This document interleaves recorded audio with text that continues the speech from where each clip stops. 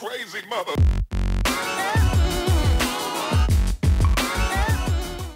Hola mis amores, ¿qué tal? ¿Cómo estáis hoy? Yo estoy súper contenta porque ya veis que estoy detrás de esta mesa y si no la sabes todavía es porque hoy vamos a poner tres tutoriales de Pinterest a prueba. Pero así, no, espera un momento.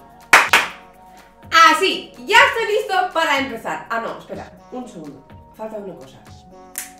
Ahora sí que estamos listos para empezar. Bueno, ya, este ya me lo quito porque este no aguanto ni 5 minutos. Si no me conoces todavía, yo soy Steffi y muy bienvenidos a mi canal. Si tienes también una sugerencia para el siguiente capítulo de esta serie DIY de Pinterest a prueba, siempre puedes dejarme aquí abajo el enlace del pin o también puedes mandarme un mensaje a una de mis redes sociales. Si no quieres ver ningún vídeo mío, pues ya sabes lo que te toca, el suscríbete aquí abajo a mi canal y activa las notificaciones para que te llegue un mensaje cuando los miércoles y domingos subo un vídeo. Esta serie he empezado porque mirando cositas en Pinterest a veces me hace pensar, ¿de verdad son tan fáciles de que proponer? Porque a veces me da la sensación que la imagen de verdad engaña un poquito. Así que yo seré vuestra voluntaria y que voy a probar todos esos DIYs para saber si son verdad o no. Y por supuesto voy a fallar, pero también voy a aprobar algunas cositas y os contaré todo lo que tenéis que hacer y lo que no deberíais hacer para conseguir el mejor resultado. Pues ya no os entretengo más, vamos a empezar con el primer tutorial. El primer tutorial que os he preparado es una cosita que he visto muchas, muchas veces por Pinterest, pero de verdad en muchas diferentes maneras. Y esto es pintar taros de cristal. Sí, puedes pintarlos en muchísimas maneras, he visto muchos con el, el, Char Paint, pero también, por ejemplo, con pintura normal, a parte interior y dejarlo gotear así o tener simplemente el cristal. Pero tener estos taros de cristal también puedes hacer tu casero en tu casa según señor Pinterest y vamos a utilizar dos, no, tres ingredientes. Uno es Mod Podge, pero tú puedes hacer Mod Podge casero con cola blanca mezclando con agua, 50-50, según señor Pinterest también. Y necesitamos colorante de comida, que es esto líquido, no es gel, no, es líquido. Tengo tres colores, rojo, amarillo y azul. ¿Y qué más necesitamos? Agua. Necesitamos agua. Y nada más, así que ya vamos a empezar con el primer tutorial. Necesitamos algo para mezclar nuestros productos y yo voy a utilizar un palillo estos para mezclar. Vale, Primero tenemos que mezclar, ¡Uh! madre mía, los colores con agua. A ver, ¿cómo voy a coger? Me gustaría hacer algo como verde. Así que ya empezó directamente difícil, voy a mezclar amarillo y azul. Aquí tengo mi agua. Ok, hay que poner simplemente unas gotitas.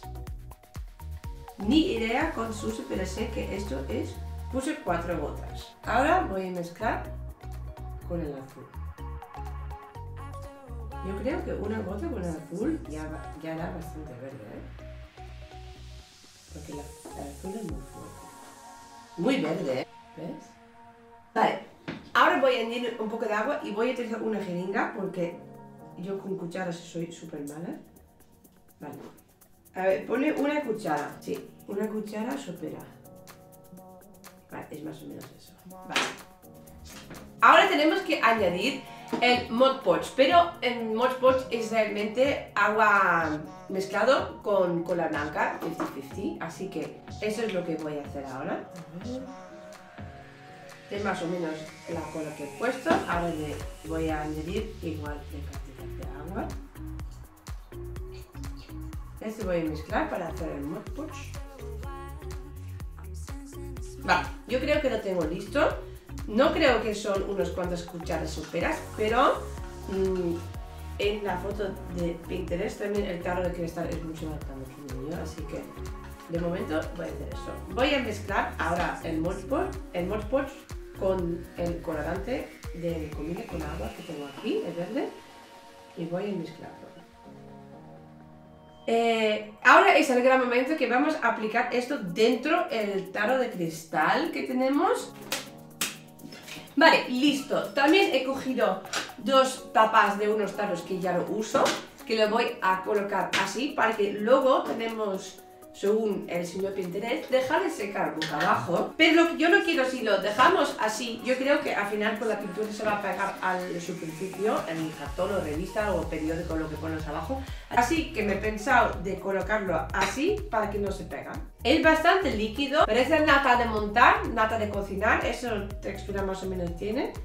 Vale, primero voy a poner poquito porque se trata que hay que hacer vueltecitas para tener todo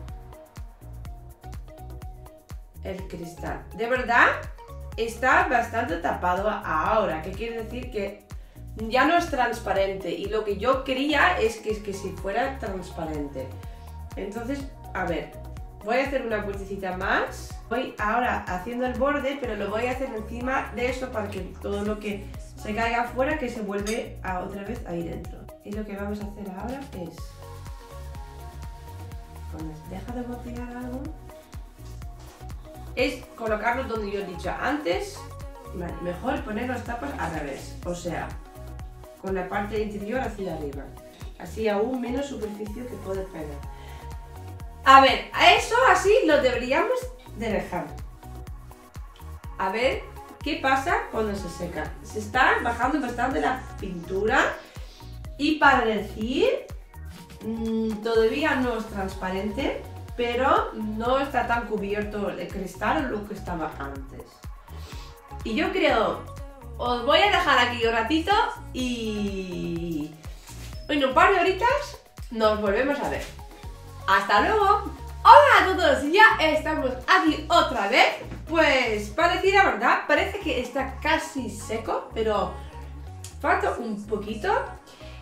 El resultado no es muy se ve que está tenido el cristal como verdoso, pero ves que aquí abajo queda como hmm, un poquito de pintura. Me gustaría volver a hacer otro intento, no sé, yo pondría más colorante, sí, y yo también creo que pondré menos agua y más pegamento. No sé. Yo creo que esto para mí no ha funcionado. Y con el segundo tutorial, y eso es una cosa que cuando lo vi realmente me ha fascinado un montón pensando, es cierto que es tan fácil de hacer que y nunca he sabido esto en mi vida. Y esto es que vamos a hacer unas etiquetas para los tarros de cristal, porque estamos con este tema de tarros de cristal hoy. Bueno, pueden ser tarros de cristal, por ejemplo, si quieres poner aquí una etiqueta que pone arroz o pasta, macarrones, o también en este caso voy a hacer hoy este vasito que ha sido una velita que lo he limpiado, que estaba gastado y quiero aquí poner un pequeño quote, un dicho que a mí me gustaría que ponga. Entonces, ¿qué necesitamos? Súper fácil y sencillo. Necesitamos celo de empaquetar de estos transparentes. Voilà, está. Y que necesitamos imprimido tu texto. Cierto que tiene que tener el fondo blanco, así, el fondo blanco y las letras, yo voy a hacerlo en negros, no sé si funcionará en color, pero lo que yo he visto en todo en Pinterest es todo en negro, así que yo no me lo juego, voy a hacerlo en negro. Y realmente es súper, súper, súper sencillo. Necesitas un cuenco de agua, necesitas unas tijeras y vamos a empezar. Yo compruebo que el cero está bien transparente, que no tiene nada de cosas dañados ni nada que me pueda destropear mi etiqueta. La hemos pegado así encima y me parece que ahora hay que apretarlo súper bien para que la tinta se va dentro del seno. A ver si... Sí. Ay, pero también se puede utilizar una cuchara, dice aquí, según señor Pinterest. Un momento, a ver. Y voilà, ya tenemos la cuchara y voy a apretar súper bien sobre todo las letras para que lo coge bien la tinta. Y ahora lo que queremos hacer es cortar la etiqueta de más cerca alrededor de nuestro texto. y voilà. ¿Veis? Ahora, el siguiente paso es de poner esto dentro de nuestro cuenco de agua. Y de dejarle ahí por lo menos 5 a 10 minutos. Y ahora es el momento de quitar ahora el papel de la etiqueta. Os voy a enseñar. Está así como se hizo un rollito. Y de verdad, ahora lo que tenemos que hacer es frotar con los dedos para quitar el papel. ¿Veis que el papel se está quitando? Pero de verdad es cierto, se parece que la tinta, las letras negras, aún están en el dedo. A ver si es cierto que se la vamos a, probar. ¡Oh! ¡Qué, chulo! A quitar un poquito más, pero ¿veis? Voy a seguir a quitar todo el papel y os enseño qué tal como queda. No es nada de mágico, es frotar con los dedos. Lo hago debajo del agua porque así es más rápido hacerlo porque directamente todo el papel lo que quito se va. Es chuli eso, ¿eh? Ahora, me queda poquito papel, así que lo he sacado del agua para mirar bien dónde falta frotar un poco más. Porque parece realmente que ya está limpio, pero es porque el papel se pone como medio transparente cuando está mojado, pero realmente si lo hago así veo que aún hay papel. Entonces, mira cómo mola.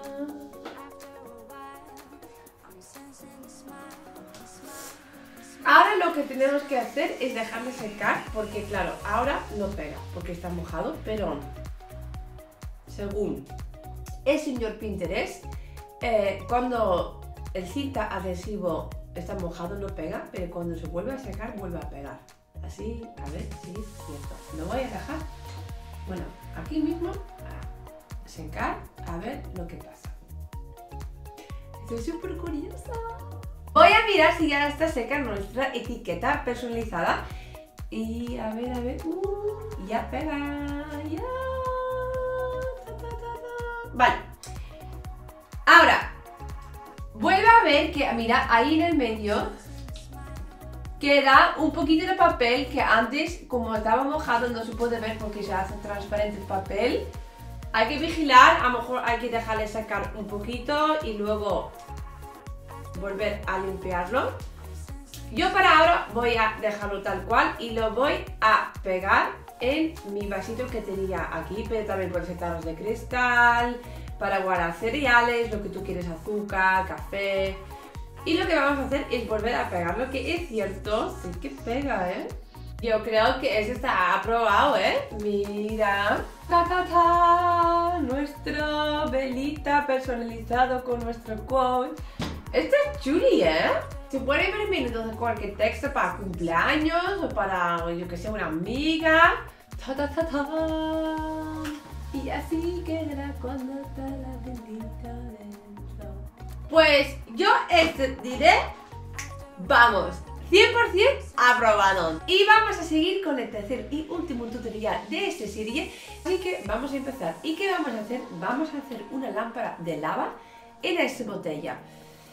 Eh, pero realmente es uno ya súper engañoso porque no es una lámpara. Vamos, porque no va a hacer luz es el efecto de la lámpara de lava es va a hacer, porque vamos a hacer burbujas que van subiendo y bajando, pero no va a dar luz, ¿vale? Entonces es una cosa que hay que tener en cuenta.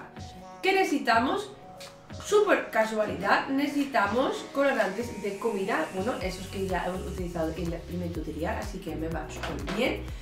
Aparte de los colorantes, necesitamos aceite vegetal, que puede ser cualquier tipo de aceite, pero yo cojo la más barata que es la girasol y necesitamos un frasco de cristal. Aparte de eso, necesitamos agua. Tenemos ahora nuestro tercio de agua en la botella. ¿Qué tenemos que hacer ahora? Es coger nuestro aceite de girasol y vamos a llenar la botella casi hasta arriba. Vale, ya está. ¿Por qué dejamos aquí un poquito arriba? Porque cuando vamos a echar una cosita para que haga las burbujas, Tenemos que tener un poco de espacio para que pueda subir, porque si no vamos a tener aquí una pista de lava y lo que no queremos. Ahora vemos bien las dos diferentes capas, agua abajo, la aceite arriba. Y ahora tenemos que coger un color. Bueno, tenemos que echar unas gotitas. ¿Cuántos? No lo sé, así que vamos a echar primero uno. Y se va, ¿ve? Que se vaya abajo de todo. ¿Lo veis bien? ¿Lo veis? Me parece que deberían de bajar, pero en los míos, mis gotas se quedan ahí. A ver si lo ves. ¡No bajan! Hola. Es que mi aceite también tiene muchas burbujas. En, ahí en las fotos no, no veo ninguna burbuja. El mío tiene burbujas. Las gotas de, de colorante se quedan como encima de, de las burbujas. A ver. ¡Ah! Se está bajando. Mira, mira, mira. Se está bajando. A ver si, si se va a funcionar al final. Voy a ayudar un poco. Bueno, como veis se ha bajado bastante el colorante, no es mucho todavía, pero yo creo que es suficiente. Menos mal que he tenido resfriado hace poquito porque justamente en casa tenía unas pastillas efervescentes, puede ser cualquier tipo, puede ser medicación, eh, vitamina C, así que son pastillas efervescentes. Y lo que necesitamos hacer es echarlo ahí dentro, pero no todo, porque si hacemos todo se va va a sobresalir, en teoría, es lo que he leído también en Pinterest. Así que vamos a ponerlos en cuartos y primero mirar si esto es suficiente. Me da poco miedo. Bueno, aquí vamos.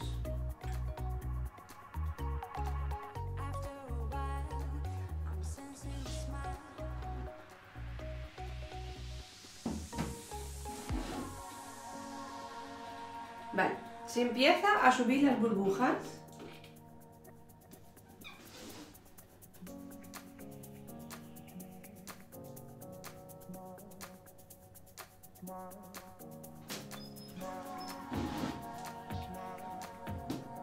El efecto es mínimo, vamos, a lo mejor siente demasiado mm, con cuidado, así que voy a echar medio pastilla. Empieza aquí, a mi parte de atrás empiezan a subir a las burbujas, pero vamos, por decir que son burbujas rojas, así que me hace la, la sensación de lava.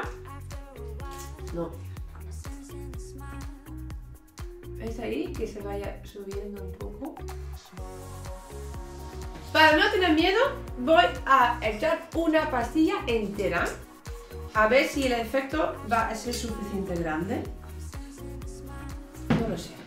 Vamos. Bueno, ahí vamos. Es que no me da el efecto de lo que realmente me pensaba de tener. Mira, va subiendo burbujas, pero...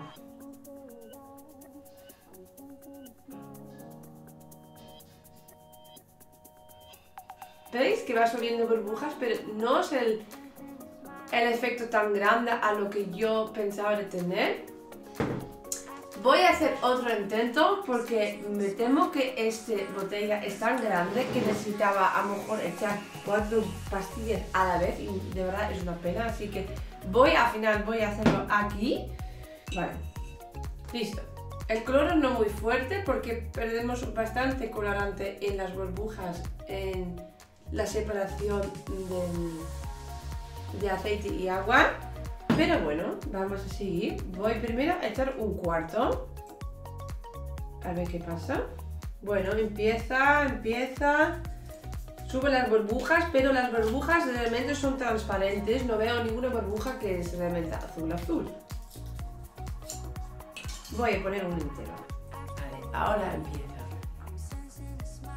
a subir las burbujas. Bueno, yo podría decir que se ha probado, no prendo mucho el color, yo en internet vi los colores más fuertes, a lo mejor tengo que añadir más colorante. Pero de verdad, el efecto ves que va bajando y subiendo. Es chuli y de verdad yo creo que mis hijos mañana, es un experimento súper chulo de hacer con niños. Así que mañana creo que mis hijos también les gustaría probarlo. Eso yo creo que ha sido demasiado grande, pero vamos, demasiado, demasiado, demasiado grande. Otra cosa que hay que decir cuando la pastilla se acaba es cuando también se acaba el efecto. ¿Qué quiere decir? Que el azul ya está parado. Es una cosa chuli, pero por corto tiempo. Sí que es cierto, si le coges una botella más pequeña, cierras la tapa y entonces en otro día puedes volver a hacer el mismo experimento. Porque ese se va a quedar así. Este no se va a cambiar. Yo diría un sí, no, sí, no. ¿Qué os parece? Vosotros podéis dejar abajo en el comentario si la lámpara de lava ha aprobado o uh, no ha aprobado. Ya me he llegado al final de este vídeo. Espero que os haya gustado estos tres tutoriales que he hecho hoy con vosotros y que por supuesto que ha sido útil, que ha sido una cosa que a lo mejor te gustaría hacer y a lo mejor estos tres ejemplos que os he hecho que a lo mejor te ha servido, te ha ayudado. Dime cuál de estos tres te ha gustado más de todos, cuál piensa que ha ganado esta prueba, igual no. Y si piensas que tendría que haber hecho una cosita diferente, también siempre puedes dejarme aquí abajo en el comentario. Si tienes una sugerencia por el siguiente Pinterest a prueba, pues mándame un mensaje a una de mis redes sociales o deja aquí abajo también un comentario. Si todavía no lo has hecho, suscríbete a mi canal para que no pierdas ningún vídeo los miércoles y los domingos y compártelo con todos tus amiguitos y amiguitas para que esta familia tan hermosa que tenemos crezca aún más. Muchísimas gracias mis amores por haber venido a verme y por comentar, por darme gusto, por compartir, por todo. Un besito enorme y nos vemos el miércoles. ¡Adiós!